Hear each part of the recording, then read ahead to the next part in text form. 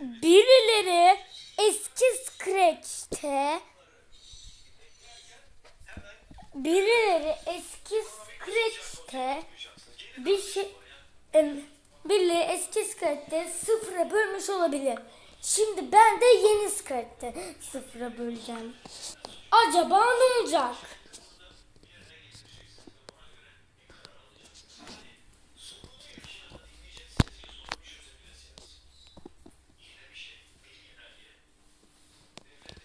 Yeşil bayrak tıklandığında D bloğunda operatör ekleyeceğiz. Kaç blok kaç olacak? 1 0 Şimdi deneyelim. Aa infinity diyor. İstersen yüzünü gösterebilirim. Şimdi şeyi yine deneyeceğiz. 1 bölü 0'ı yeni Scratch'te yine deneyeceğiz.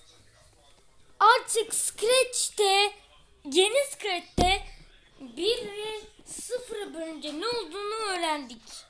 Bize infinity diyor. Bakın 1 bölü 0 de diyorum. Infinity diyor.